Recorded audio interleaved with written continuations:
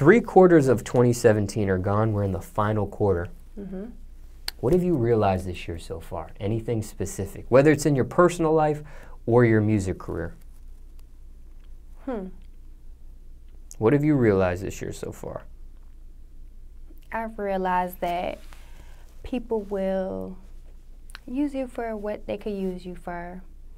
Um, not everybody around you is genuine, and you just kind of have to look out for the signs and pay attention to the signs.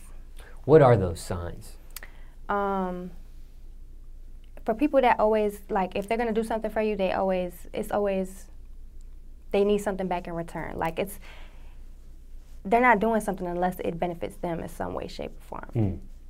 So that um, if you're constantly showing love to somebody or you got to constantly reach out to somebody and they're not hitting you, you know what I'm saying? They're not really responding or they don't make it their business to check back up on you, um, stuff like that.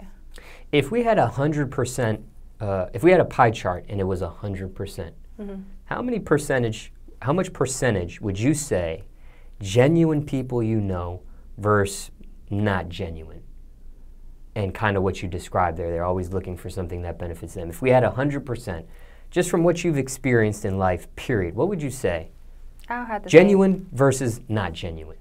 I would have to say between like 20, 30 percent. So 20, 30% of people Genuine. genuine. Yeah, 80 to uh, 70 to 80 not genuine. are genuine. there for the hype.